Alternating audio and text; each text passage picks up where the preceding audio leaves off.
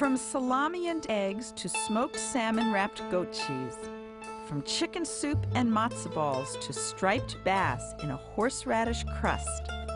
From beef borscht to brisket with couscous, apricots, and prunes. That's Jewish cooking in America. Everybody has a favorite Jewish dish. Dora Sulganic could live on her gefilte fish. Fred Loeb would like to eat challah seven days a week. And June Solander could skip everything else and go straight for her strudel. For me and my family, it's kugel. In the old world, kugels were made with little more than noodles or potatoes. Nowadays, in this land of milk and honey, kugels are most often sweet and enriched with eggs, sour cream, or cottage cheese. Kugel has become decidedly American, laced with Yankee ingredients like sweet corn and pecans. My family's favorite kugel is nothing fancy, but noted cookbook author Sheila Lukins wanted to see just how it is done. Sheila, thanks for coming over today to make one of my favorite dishes, kugel. I wouldn't miss your noodles for anything, Joan. we'll work together, right? You bet. Is this like what your mother made? Yes, kugel? yes. I love that kugel, especially the edge. You know where it gets nice and crusty? Crusty, definitely. I, I didn't realize some people like to pick off the top crust of I'm the one of those You're people. One of those I people? can't wait. Anyway, so shall we cook a kugel? You, yes. And this, of course, is a very American kugel. Kugel origin you know how it originated don't you? You tell me. All right. And see if i know. Well kugel in europe they're potato kugel or noodle kugel and of course they weren't machine made noodles they were noodles that were cut and made by hand. And it was the dish that went along with the cholent the overnight stew in the oven for shabbat. And it was something that was cooked a long time and very often it was made in a flower pot shaped pan Oh, that was oh. higher on the top. There was a, a, central oven that people would go to. They'd bring the cholent and they'd bring the, the, the kugel. And my guess is it was high because you didn't have the kind of space that a, a flat pan would take. Different kind of oven. Oh, no, this I did not know, so I love this story. Well, anyway, so that's what it was. And of course, kugel in Europe it was not the sweetness that we have. They were lucky if they had either cottage cheese or I think this basically is a the American kugel with cottage cheese and sour cream is based on a Hungarian kugel, uh-huh. a Hungarian noodle. I don't know if when you were doing your international cookbook, if you saw in Hungary there are noodles and cottage cheese and a little bit of sugar, which is really, you know, what's uh, kugel. That's right. So should we start? Yes, go ahead. First, we're going to boil some noodles for about eight minutes. Okay, there Let's we just, All right. Oh, I forgot to put a little bit of salt in. We've got. Oh, okay. Well, there always have to have some salt. Salt. In. Don't you agree? Right, and you always have to stir. Salt right. and stir. Okay. Okay. Well, should we mix what we're going to yes, put in let's here? Yes, get it together. Okay. Cottage cheese. Do you use full fat or low fat?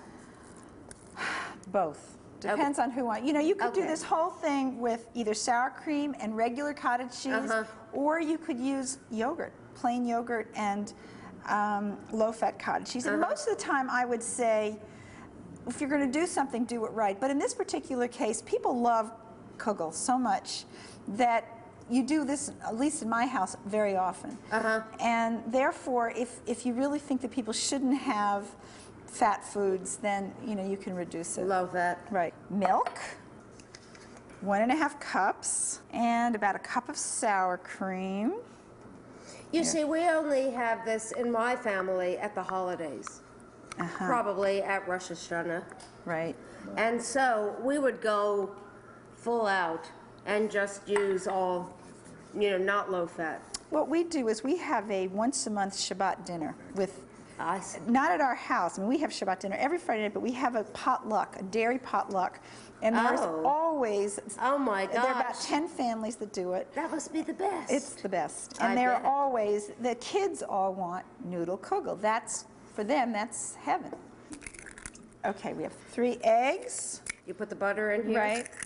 How much butter? About a half a cup of butter. Melted. Yeah. Okay. And of course, you can probably reduce that if you want to as well. Let's It's get, looking good. well, it's, you know, nice and rich. It Certainly is. And then you put in about a half a cup of sugar. Oh, this looks gorgeous. I tell you, no matter how good you think yours is, when you see yours, Joan, Right. this is looking But it's just like your mom's, you I don't know, but this is looking great. this has a few more things than my mother's. This is looking gorgeous. Well, That's no offense, mother.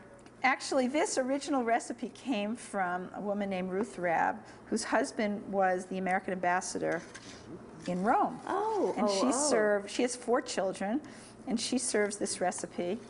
And I had it actually at a potluck. That was the first time I had it. Cinnamon. Cinnamon, how much of that Well, I don't know, it's a lot of cinnamon, so we're doing a little less, about yes, a teaspoon. But, but that looks so beautiful.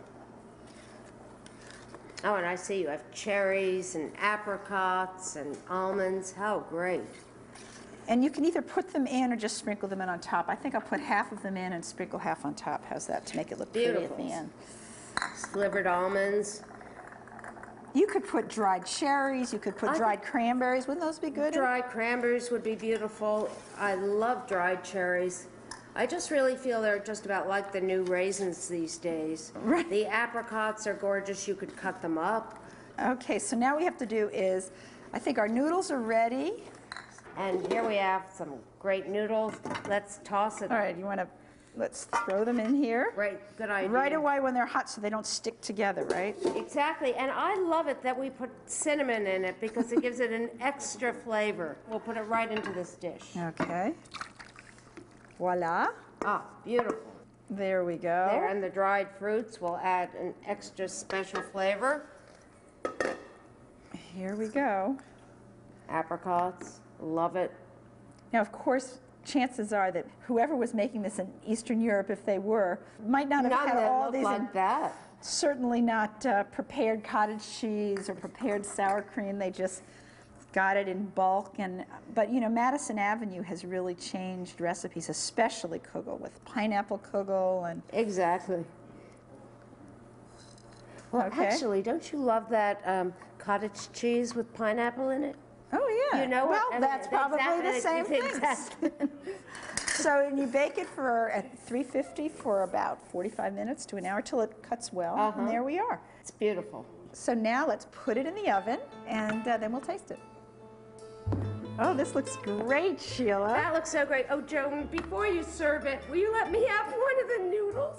Yeah. The crispy noodles? Take it, take it, take it. oh, it God, off. I have to. It looks so good, even if I've destroyed the cook. Um, that's what I was waiting for. Is that what you grew up with? The crispy Uh-huh. noodle, right? Well, it's certainly what I've been waiting for today. You want to have a, a taste of this, or just the crispy noodle? well, the crispy noodle was great. Aha. Okay, It is so delicious. let me taste. That is so delicious.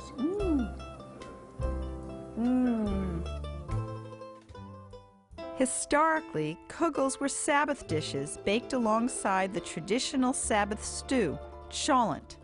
Cholent was a humble, slow simmered dish made with inexpensive cuts of meat, a few bones if they were available, and some beans or barley to fill out the hearty fare. Mark Strausman, chef at Campagna in New York City, makes his cholent with short ribs. Short ribs have become trendy, but were once poor people's food. It's kind of funny when you talk about peasant cooking. It's just amazing that every country in Europe touches each other, mm-hmm. and so do their recipes. And and this is one where most of the Jews in Italy are Sephardic, and this recipe has a lot of Sephardic overtones in it with honey in it, and, but it could also be very very easily Eastern European. Well, this well. recipe, don't forget, cholent or hamim, which means warm, went all around the world. They can trace it to the 4th century AD. And uh, the reason that they had it was to keep the Sabbath, where you're not allowed to cook on the Sabbath. And so every Jew that was religious would do this so that they would have something warm after the Sabbath services for lunch. Well, when And- I was interviewing, I you know, because I do a Passover in the restaurant, and I went to Rome and interviewed families, and uh, one of the families I interviewed was quite religious, and they were very, very big members of the Roman synagogue, which is probably one of the most famous synagogues Right. in all of Italy. And I'm sure they had a dish just like this. And I'd imagine also the Italians would have used a, ver- a variation of, you know, flanken or short ribs, or, or definitely a cut of meat that came from very close to this, and not a brisket because a brisket couldn't stand up to overnight cooking. It would just shred into nothing. That's why you use short ribs or flanken because it, it, it's tough enough to stand up to overnight cooking. And the other thing that is very Italian is we put in because in osso buco, everybody loves the marrow. You don't have to be Italian to love the marrow. Right. So, and this goes in, and what the marrow does is it adds uh, body to the the dish, That's and and does. makes it because of all of the proteins in the marrow and in the bo- and in the bone. It gelatin comes from Right. marrow, so you'll you'll see that when you do it, and if it gets cold, then it becomes very gelatinous and very rich and thick. So even though it's a peasant dish, there's a lot of richness and flavor in it, and that's why you can also have a lot of tradition in it. Well, this is also the great make-ahead meal if you're going to have people for dinner. Right. And then there's this great presentation when you open it, um, and it's been cooking for eight hours. Yeah, and I, I find that when you when you do a dinner party, you know, there's more to life than rack of lamb. Right. And being able to sit, you can't sit around a dinner table and talk about rack of lamb. Well, actually, it's the Jewish cassoulet, and I think we should get started. Definitely. Okay. Okay, well we're gonna you know, we're gonna do it very simply. Um, what we're gonna do is just simply layer it. Yeah. Put in one little, one row of the short ribs. Of course, the salt, pepper, more salt. Then we're going to put in the carrots, little onion, some of the beans, Yeah. and a marrow. And in this recipe, like I said, I'm changing it just slightly. Put a little rosemary, and then again, and then you know all of the ingredients go in, beans, and the wheat berries, uh-huh. you know, which kind of help thicken it up. Put a little more onion in. In which is something they might have used in ancient Israel, Oh, too. totally. Bay leaf, another marrow bone, a little more rosemary. And actually, all of these ingredients, yeah, the Honey. honey. Ooh. Keep it nice and sweet. Right. And then the potato. And we'll be ready. I have some chicken stock right over here. Uh, a lot of recipes, lots of times they use water. Just to cover it. Right. just covers it. And then one last thing. You know, I told you this whole aphrodisiac thing has got me going here, so I can't stop now using garlic. I just walk around with it in my pocket these days. Oh, no, that's a good way of doing it. Yeah. Is this the way that you? Why do you do this rather than um, put them in individual cloves? Well, you know, it's good- it's supposed to cook for a long time. Right. So you know, here it'll hold together and it won't dissipate.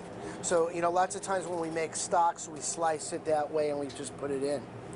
You know, if Woody Allen gets a hold of that, he's going to make a movie over here about garlic, and then that'll be it. Okay, now what we're going to do is we're going to cover it, and we're just going to let it simmer for a little while, and then once it's simmering nicely, we'll put it in the oven, and then we'll come back tomorrow afternoon, and hopefully it'll be ready. Great. Well, let's come back tomorrow afternoon and eat it. I got it. Okay. So this has been in the oven for about what? How many hours? A lot. At least eight hours, It's going to be. Okay. So let's see what this tastes like. Okay. You see that the meat has fallen ap- just apart slightly off of the bone a little bit because, you know, once something has been in the oven over eight hours, no matter what kind of oven it is, that happens. But it, it just, it's oh, really smells so wonderful. good. and you see the way the beans Right. and the wheat berries has thickened up along with the marrow. So what we're going to do is we're going to get some out. Okay. Okay. And Actually, what's so interesting about this dish is it, it takes on the color of wherever you're from. So Right. here you're into Italian cooking and you've never made this before, but what you're doing is you're making an Italian version of it. And Right. Jews that live in India use Indian spices. They're vegetarian cholents. There are even cholent cook-offs in different cities in the United States Oh. today. And you know, there's Hungarian with different kinds of beans, different kinds of spices. You got it? here's a large. Beautiful. Let's take a little bit of the sauce, and here's the marrow bone. There it is. Some of the marrow on top. And here's another piece of meat. This is all the short ribs, right? Right, these are all short ribs. Bigger short ribs. Well, you know, we used one. Here's another one. Okay. Okay. Mm, it smells so good. When I was making this, all of my staff said, you know, you have to make a lot because uh, even though they're not peasants, it looked kind of good to them too. And there you see is one of the rib, the bones. So I'm going to just very gently pour this over. Huh? And, Oh, there it is. It smells so good. and there we go. Cholent. Food for the gods. It is a far cry from the kugels that were served with cholent to the lick your fingers kugel. Susan Shovers is an organizer of the Hadassah Kugel Fair held every year in Evansville, Indiana. I'm going to make um, the Lick Your Fingers Kugel, which came out of uh, the North Shore Chicago Hadassah cookbook Right. in the 70s. And this cookbook was my Bible for a while, and this was the kugel that I liked the best. First of all, let's start boiling noodles. And we're going to boil these for about um, eight minutes or so. Okay. All right. And then we're going, we've melted, I've melted two sticks of butter. And I always cook with unsalted butter. I don't know about So you, but that's all there is in my repertoire. And I'm going to pour in, oh, about uh, a third of it. Okay. And I'm going to add three quarters of a cup of brown sugar, and you can certainly add more or less. So this, in a sense, is a a Schneckenkugel. Yeah, it's a sweet kugel. And, And you can actually, I've put this out when I've used, um, you know, I've put it out with desserts and sort of pack it down a little bit into the butter. well, you know, this recipe more than any other kugel recipe I've ever heard of keeps popping up. People from Chicago say to me, "Oh, well, there's one kugel you don't know about. This is it." And I said, "Look I didn't book." know that. I didn't. I I'm didn't realize it was that popular. very popular. I thought it was my own favorite one, but now I'm going to put into this, put on here, and again, you can use more or less. I happen to like Lots. pecans, Yeah. Yeah. Okay. Make lots. We'll finish them. Usually I use my fingers, but Well, you can use your gonna fingers. be a little neater today. So, just pack that in here. Okay. Okay, and then set it aside.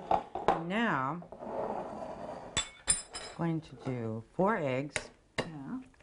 And I've also, when I've made this, increased this to, uh, I've done five eggs, Mm-hmm. depending on the size of the eggs. So this kugel you could serve as a, an accompaniment or a dessert, right? Either one. I'm going to add to that a half a cup of sh- white, a regular sugar, a teaspoon of cinnamon, and two teaspoons of salt. And I'm going to mix it. It's a little too much cinnamon.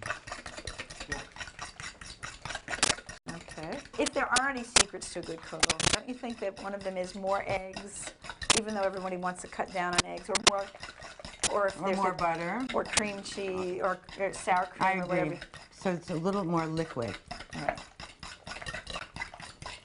Okay, Okay. I think that's, that will do. Let's put the butter into this too, Okay. okay? Almost forgot that. Keep stirring.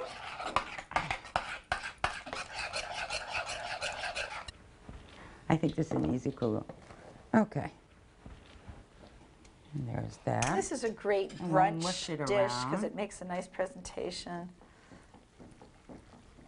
Of course, original kugels were either potato or noodle, and they were an accompaniment to the Sabbath dish, right? Right.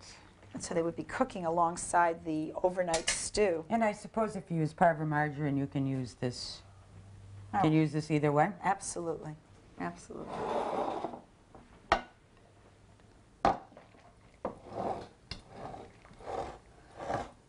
Very easy. Isn't that easy? Easy, easy. Okay. And then let's just. We're going to bake that for an hour and 15 minutes or until it's really brown on top. At what degree oven? 350. Okay. How do we know that this is done? Can you smell it? I, sh- I can smell your whole house. Yeah, the cinnamon. I mean, I always Yeah. think of your house as a house full of baked goods. It is. With a It is. lemon cake. uh, And every freezer is full. Okay, let's see if it's done. I mean, let, let's let's undo it. Okay, so we've taken this out of the oven. I've, we've let this cool for about 20 minutes. It has to come away from the sides of the pan. Mm-hmm. Then you know that it's it's ready. And all we do, like anything else, And voila, there we are. it looks beautiful. Nice? Just beautiful. It is really a not lick your fingers kugel, but it's really a Well, it is a lick your fingers kugel because I'm fixing the And this is all sticky. It's all sticky, and it probably should be, it can be eaten at room temperature, but it probably should be reheated a little bit before serving it. Can we taste it? Let's taste it. Okay. You have, you have the honor, you cut. I have the honor. Yes. All right. So this one you could, I think this is a great brunch dish, you know, to have this as a centerpiece or as a dessert, or I sometimes even serve this with brisket. You know what else? You can make this in any kind of a mold also, which I think is very nice, uh, or in just a regular bun pan. Mm-hmm. So you can make them in shapes, but it works best with a flat bottom pan Why? Because of the, because of the topping. okay, Other one. This looks wonderful. Mm-hmm.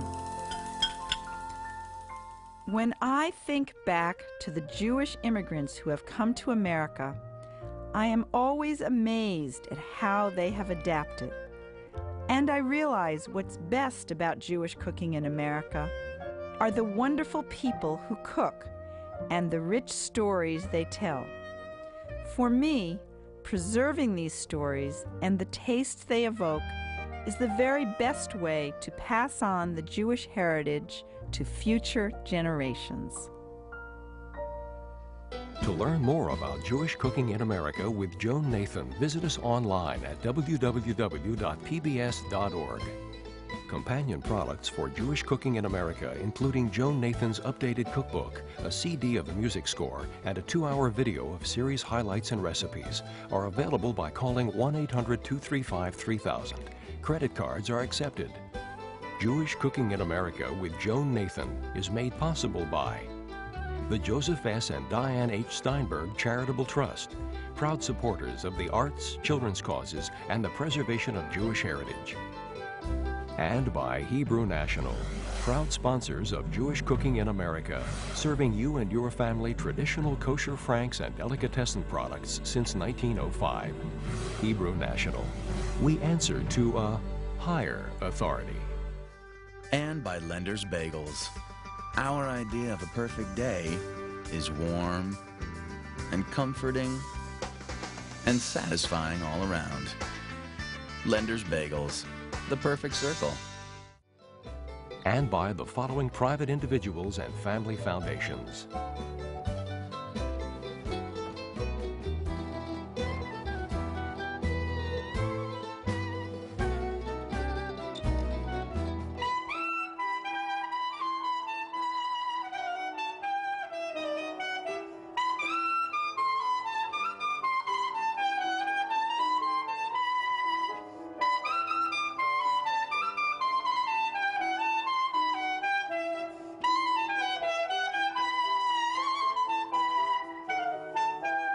This has been a co-production of Joan Nathan, Frappe Productions, and Maryland Public Television.